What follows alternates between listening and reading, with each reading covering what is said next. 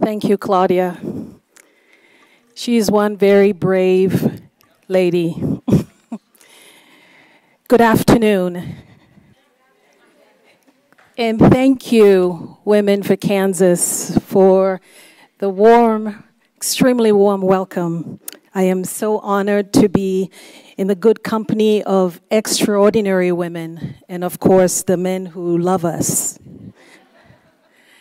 To Women for Kansas, the Women for Kansas leadership, the 2018 Convention Committee, sponsors, staffers, volunteers, candidates, public servants, and distinguished guests. I salute you and I thank you for this honor. Look at the person sitting next to you and say, Thank you for being here. That's right. Yes, thank you for being here. Now let's talk about immigration. Regardless of your party affiliation or ideologies, whether you're liberal or conservative, right wing, left wing, moderate, Republican, Democrat, Libertarian, or independent, I'm going to ask you for the next 30, 40 minutes to put aside all of our differences. Be absolutely open minded, objective about what I call the American immigration problem. Claudia's story is a very good representation of that. But first things first, if we are to have an honest discussion about a problem, we should at least define the problem. I'll tell you what it's not it's really not about what is or might be the best immigration policy. It's much more fundamental than that. What exactly is this problem that, I'm sorry? Yes. Thank you. I, I, am I just too close? Oh, okay. Thank you. Thank you so much. Can everyone hear me okay? Wonderful. What is this problem, in which I call, and many people would agree, is an unfolding crisis? So much so that a proposed solution could either make or break a political candidate's aspirations. What is this one hot button, political battleground issue that gets presidents and perhaps even our next governor elected? What is it that stokes such fear, panic, division, anger, that causes so much pain, suffering, confusion, anxiety, controversy, fierce debates, incendiary tweets, crude and inflammatory rhetoric, protests, outrage, monstrous policies, that are primarily fueled by racism and greed, that results in exploitation, abuse, human suffering, inhumane treatment, and never ending litigation. The short answer is what we in this room commonly know as illegal immigration. The long but more precise answer is a refusal or inability by a majority of Americans to settle for our generation. Who gets to come here, who gets to stay, and who belongs here. And translate that politics of immigration at the ballot box. As a nation, and it's confirmed by several of our speakers this morning, is we're governed by the will and desires of a small, vocal, and powerful minority. They have the media, politicians, political donors, and lots of money on their side. With that kind of power, they set an agenda on all the issues that affect us. And it is for that reason that the votes and policies we see from elected officials and the proposals by those who govern us very rarely line up with our best interests or the wishes of the majority, the governed, we, the people. You see that on every issue, including immigration. Whether we like it or not, we are heading for a moment of reckoning about the fundamental nature and character of this country for this and future generations. And come this November, if a majority of Americans do not define their politics on immigration by deciding who gets to come here, who gets to stay, and who belongs here, then show up at the polls to vote for those candidates who will stand for our immigration politics. Yes. If we fail to do that, immigration will remain, as it is today, a political minefield mired in contradictions, cognitive dissonance, and a politics of cruelty. It will be a political football to be hijacked by fools, opportunists, tyrants, and demagogues. And that's who sits in the White House today.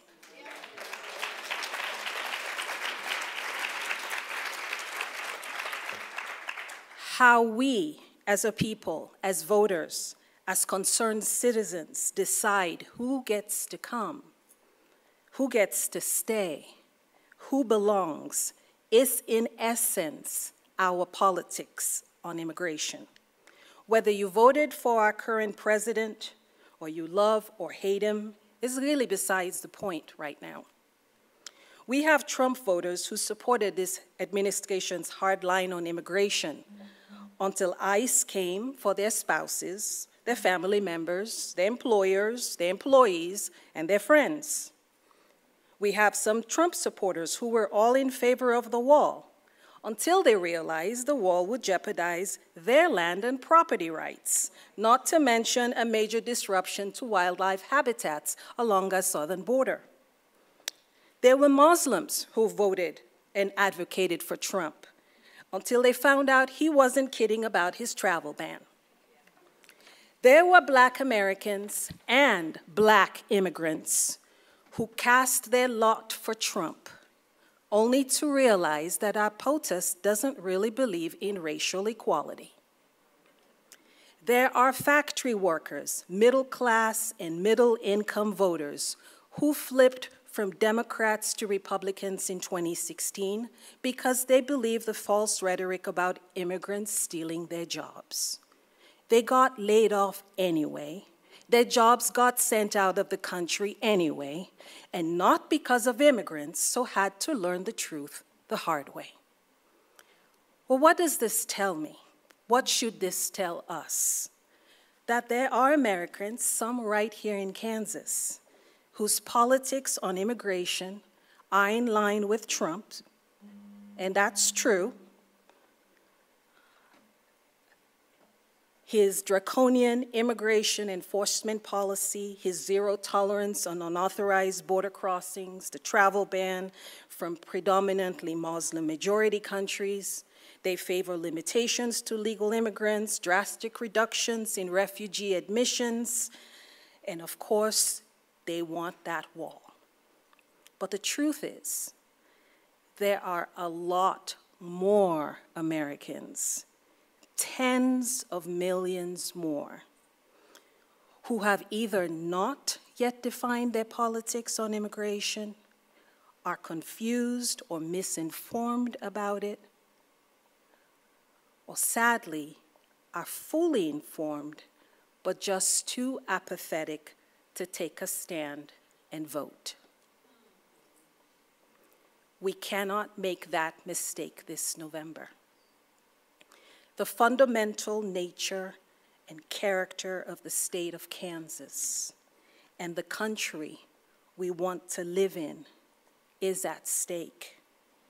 And it's going to take every eligible voter on or before November 6th to choose the leaders who are aligned with our individual politics, not just on immigration, but on every issue that affects us. Inaction is not an option. In fact, not voting is itself a choice. Our present experience is evidence that bad voters inevitably, um, excuse me, bad leaders are inevitably elected by good people who choose not to vote.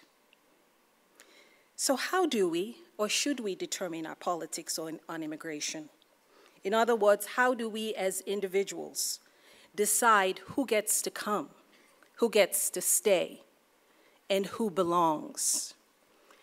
The answer, may I suggest, lies ironically in what you think make us great. What makes Kansas great? What makes America great? How do you define greatness? Does making Kansas or America mean going back to discrimination, segregation, sexism, isolationism, legal racism, white power, and a government run by covert members of the Ku Klux Klan? Is that your definition of greatness? Then, of course, your politics would be preserving America as a white, conservative, Christian culture society. It would become necessary to put a stop to the influx of non white newcomers. You would feel threatened by language diversity and non whiteness. You wouldn't want me standing here, and you would be using immigration as a way to preserve white dominance in every way possible. Yes, that would be your politics in spite of the costs, regardless of how illogical, arbitrary, contradictory, unlawful, unconstitutional, cruel, or inhumane the policy. And when the law or the Constitution creates an impediment to your politics, then you would do what is necessary to change the laws, amend the Constitution. That way, you can revoke birthright citizenship. You can deny naturalization to immigrants. You can denaturalize those who already are U.S. citizens. You would restrict and reduce legal immigration. You would deny admission of refugees. You would reject highly skilled foreign workers and immigrant workers as crops rot in our fields and farms. Yes, you would do that. And if that is your politics, there is a candidate for you.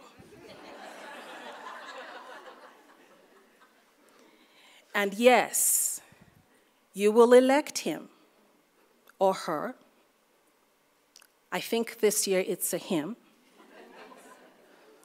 and you would allow him to raise taxes and shell out billions of taxpayer dollars to fund the search and the mass removal of millions of immigrants as you stop them on every highway in Kansas. And you would break up mixed status families, not caring what happened to their US born children. You wouldn't care if they were exiled or separated from their natural parents. You would pay for that wall, which we know Mexico is not going to pay for. And yes, you would be willing to tolerate the inhumanity of a zero tolerance policy along our borders, child kidnapping, abuse, and the brutality of a police state where everyone must show their papers. But if this is not your politics, and the truth is, only a minority of Americans, a minority of voters share this politics. for majority of Americans and Kansans, the idea of greatness is not defined by bigotry, but by universal access to a good public education for everyone, affordable food, housing, health care, good infrastructure, livable wages, jobs for working families, low unemployment, entrepreneurism, safe and secure communities, fair taxes, a red hot economy that allows us to care for our poor, our sick, our elderly, our disabled, dignity, equality, liberty, and justice for all. And an America still willing to welcome anyone willing to work and contribute to making this country a better place.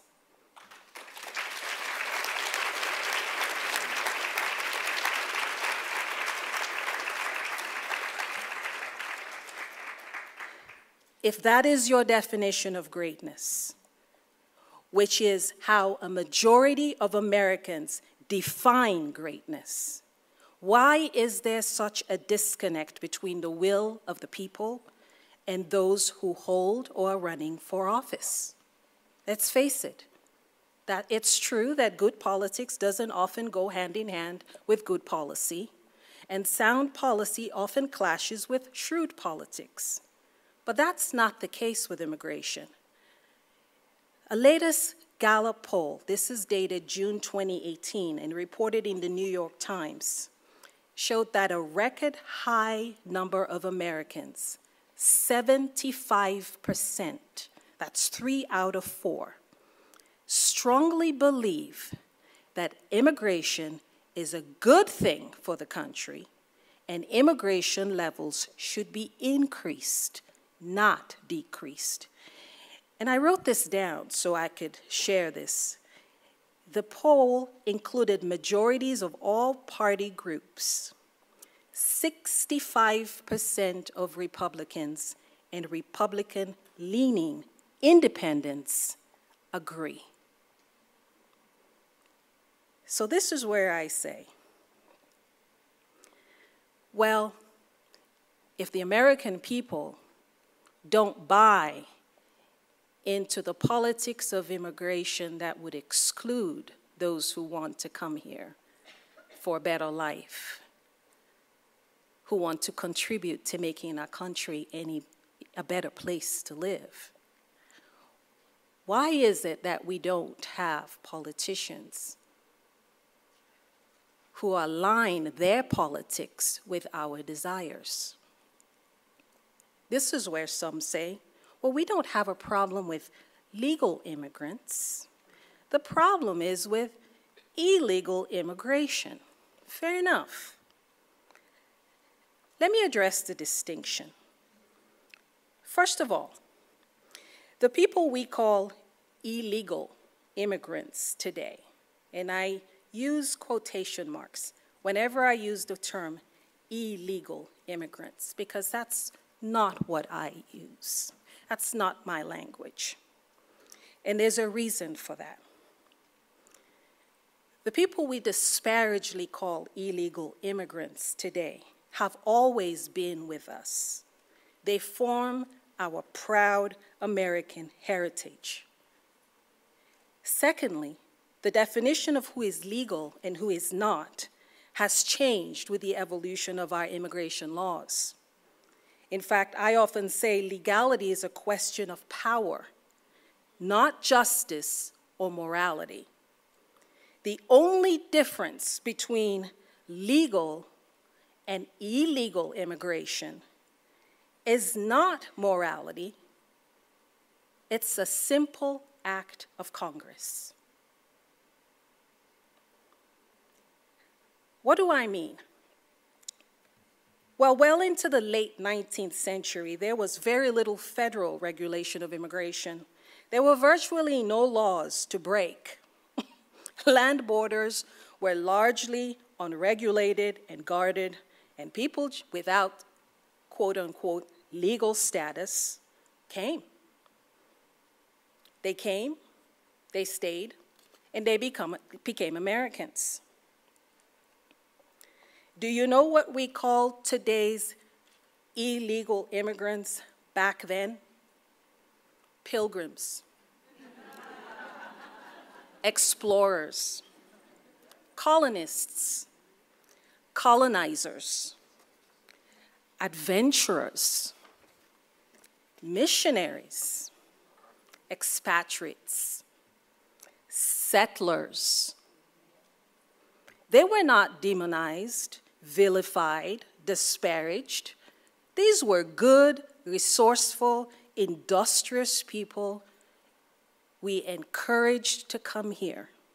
We, we needed a growing and increasingly industrialized workforce, workforce, so immigration was virtually unfettered.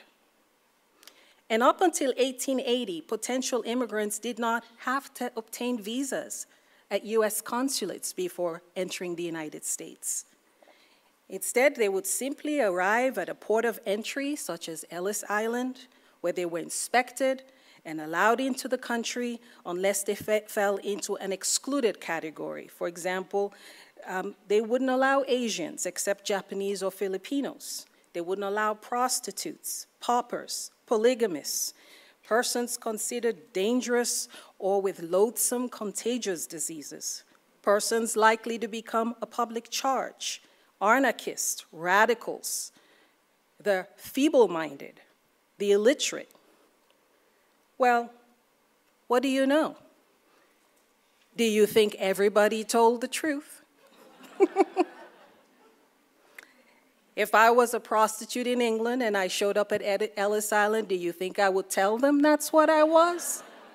No, they came in. And we would, if they were here today, we would be vilifying our own ancestors, our great great grandmothers, our great great grandfathers as quote unquote illegal immigrants. The vast majority of people who arrived at ports of entry were allowed to enter. The Immigration Service excluded only 1% of the 25 million immigrants from Europe who arrived at Ellis Island between 1880 and World War I. 25 million. And now we want to complain about 15, 20,000 at our southern border. Well, in 1882, the first general immigration law was enacted, creating the first immigration bureaucracy. And then the Immigration Act of 1891 established a Bureau of Immigration in the Treasury Department. And then we got the Immigration Act of 1924. Bear with me. That was followed by a 1924 law which established the Border Patrol. And that's when we first started to regulate our borders.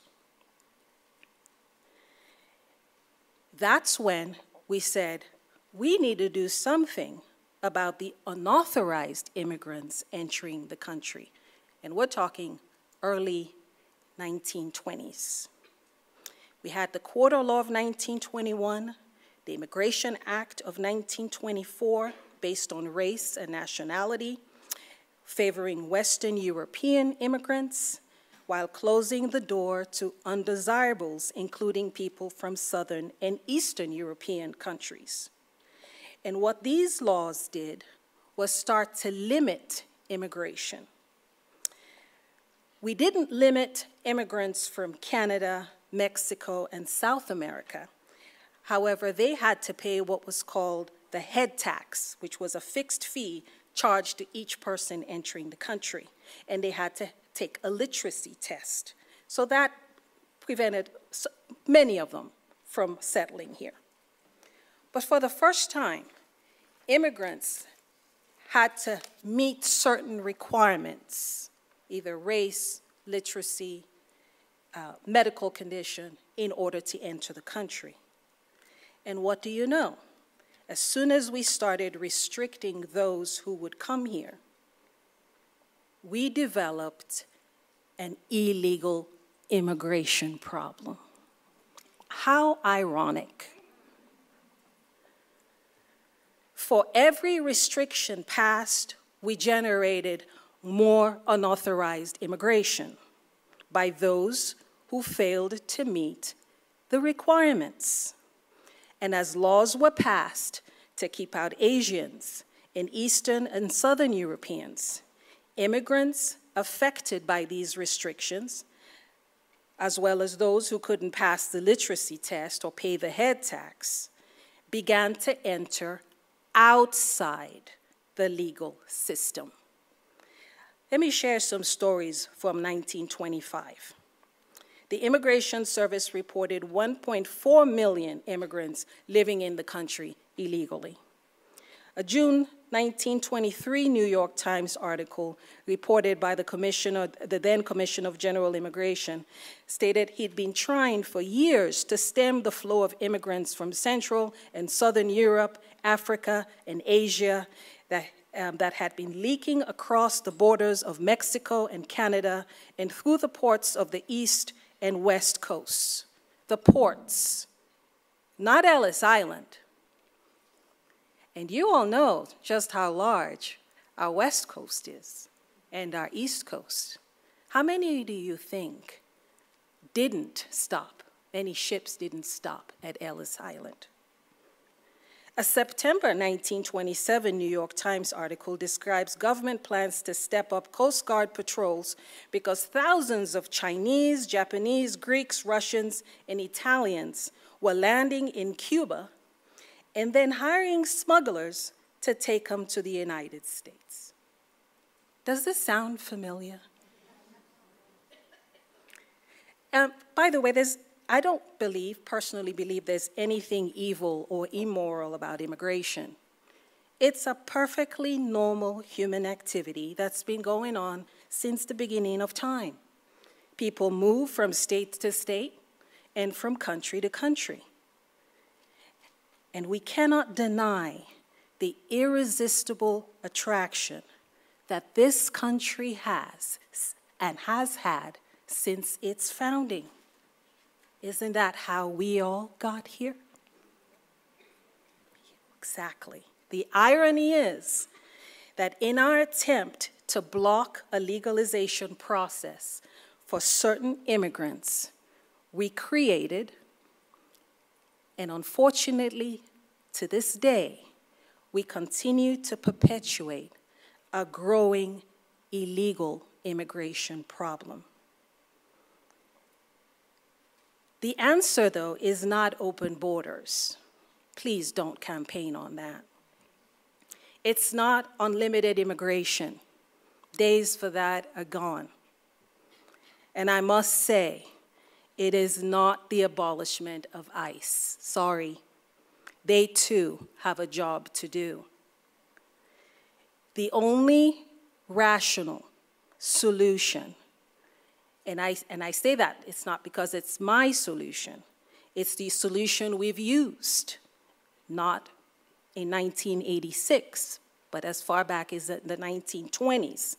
The solution to curbing or reducing illegal immigration, it's not a phenomenon that could ever be eliminated, is to regulate it by a legalization process. If you don't like illegal immigration, guess what? A legalization process will fix it.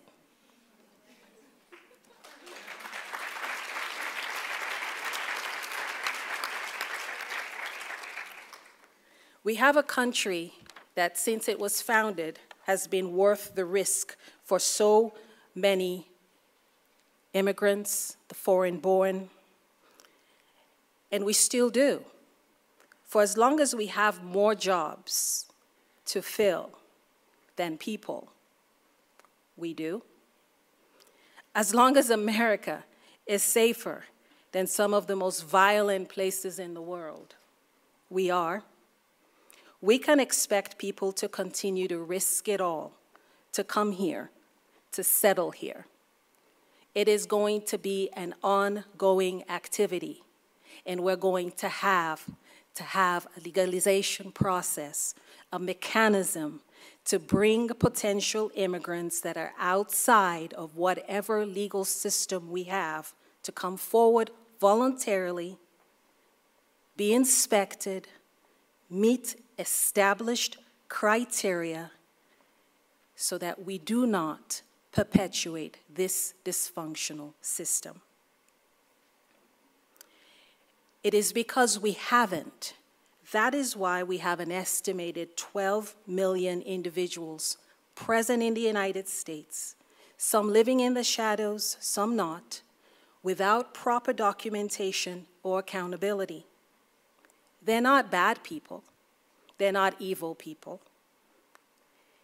They entered or have remained in a country that they've called home, a country whose immigration system does not have a legalization pathway for them. But we have a legalization system, you say. Not really. The fact that we have a growing undocumented immigration problem is because our system hasn't created a pathway, a legalization pathway for these immigrants. Isn't legalization a reward for breaking the law, you ask? Not really. If you see legalization as a win win, one that benefits everyone, not just the immigrants, then it's a good thing.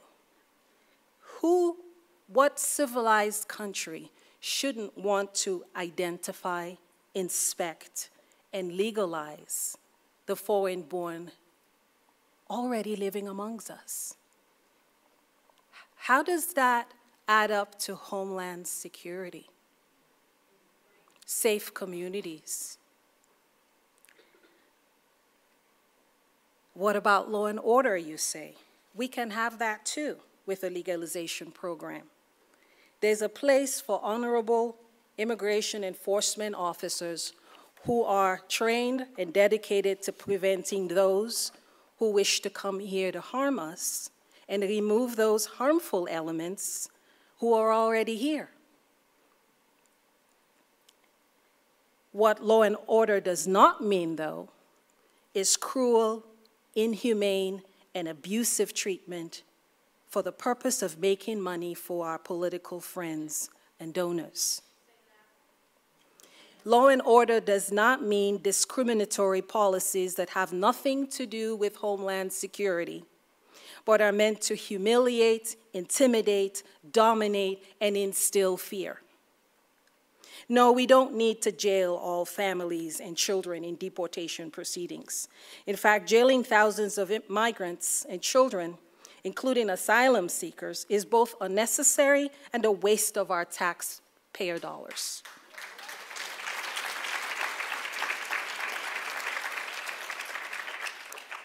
Releasing those who do not pose a flight risk because of strong family ties or on condition of bond and so many, at least two concrete alternatives to detention. We had a community supervision and, program run by the Immigration and Customs Enforcement Agency as an alternative to detention for families seeking asylum. This administration would have you believe that releasing immigrants while their cases proceed in court encourages them to disappear from the government's radar. That's false the Family Case Management Program had a 99% effectiveness rate, meaning almost every single person enrolled in the program showed up. Plus, it was fiscally responsible. Compare $36 per day to $319 per day per person for each family in detention. And who do you think you're paying that to? Private detention companies.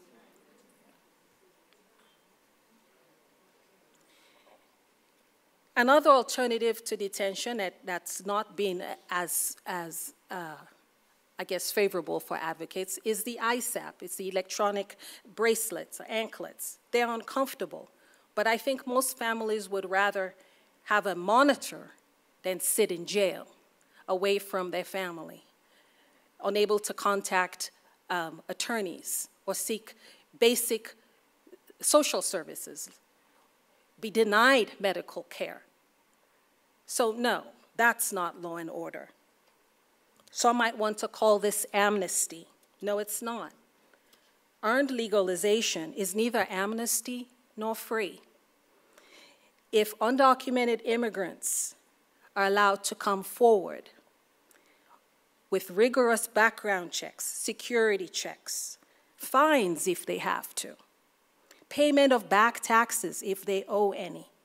We can establish a, criteria to say you meet these requirements, you can be an American just like everyone else. They would sign up. But we have denied them that. And not because immigration is a bad thing. I could go on tonight and talk about, or this afternoon, and talk about the benefits of immigration, but I feel like I'm preaching to the choir. I don't think there's anyone in this room who thinks immigration is a bad thing. It's always been a net positive for this country, for communities. And you can see that I'm not preaching or talking about open borders. No. Every sovereign nation should have its borders. No rational person wants open borders. What I'm saying is, we have to recognize that people will come here. We have, I believe, a 6,000 mile combined land border between the United States and Mexico.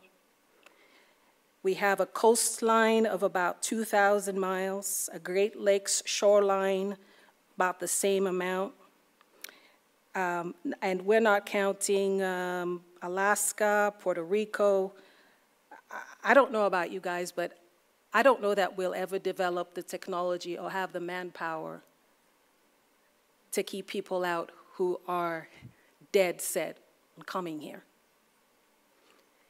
And if you want to build a wall, well, you'll have to realize that about 417,000 um, visitors who flew in through international airports in 2015 are still here. That wall wouldn't have stopped them from coming. So, no, a wall is a stupid idea.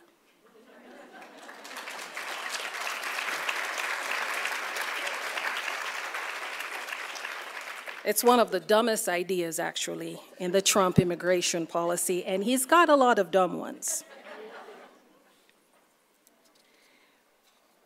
What about secure borders, you say?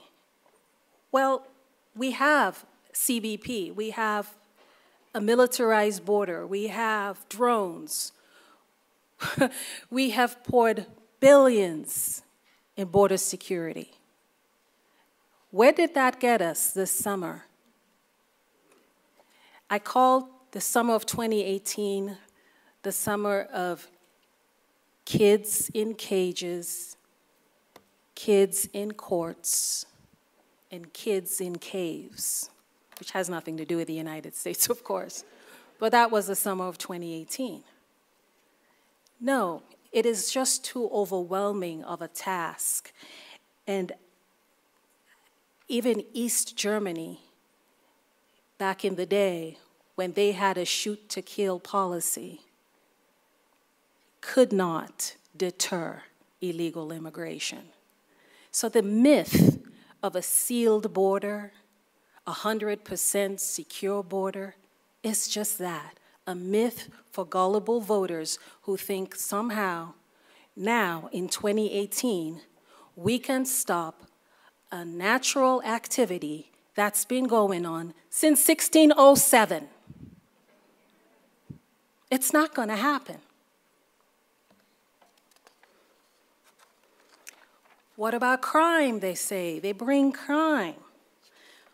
Well, I'd love to sh share some statistics with you.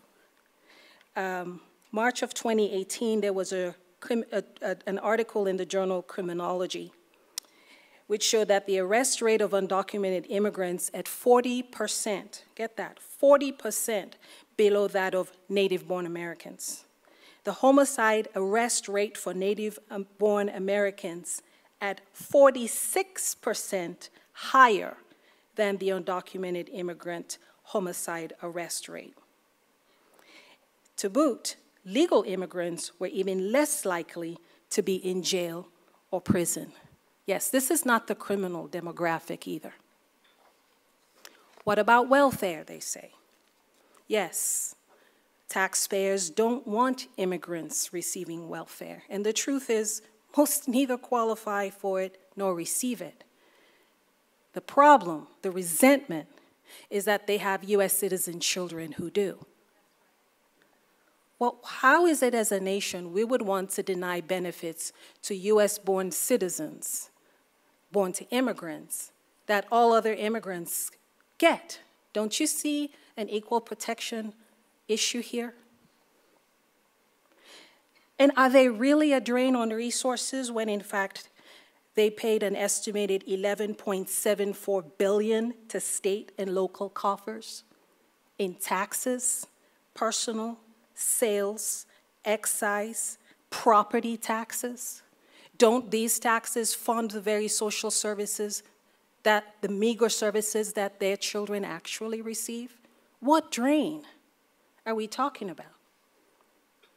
None of this is true. So there really isn't an argument against letting people who are here, who have formed ties to this community, stay here nothing but bigotry. I'll give you an illustration.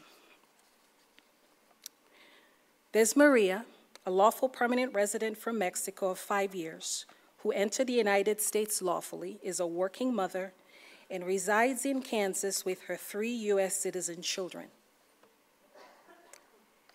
And then there's Dorothy, an undocumented immigrant from Canada who just drove across our northern border and, uh, um, on her pickup truck, has settled in Kansas for the last five years. There's a Dorothy in the house, I'm sorry. and is a working mother of three US born children. And then there's Jane. She entered the US uh, on a tourist visa from China five years ago and has just not bothered to go back. She's made Kansas her home. She has three US born children. She's invested in real estate and dutifully pays all her taxes. And then there's Lydia from Guatemala, who crossed the border illegally from Mexico five years ago to escape violent gangs and works at a Kansas pig farm for cash. She and her common law partner, who is also undocumented, have three children born here. They're renting a trailer. All four of these women are immigrants. They're here from other countries. They're physically here, raising families, working hard, paying sales taxes. Every time they buy groceries, automobiles, gas, clothes, they're paying property taxes. They're employed, they're driving on our streets, starting businesses, What's the only difference between the one legal immigrant and the three undocumented ones? An act of Congress.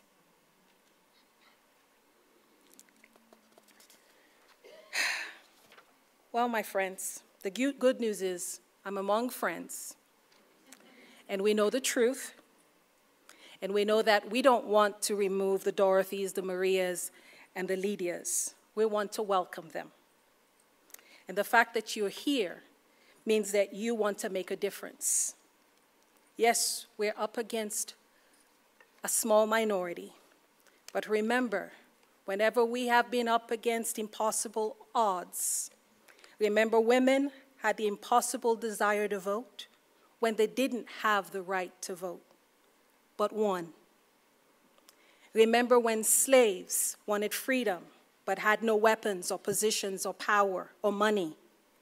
They won. Black Americans, in spite of their lack of power, money, or status, overcame Jim Crow. They fought. And we're on the road to winning that fight. So, yes, even with impossible odds, united, we can do this. So, come November 6th, please take your red, white, and blue revolutionary colors and vote.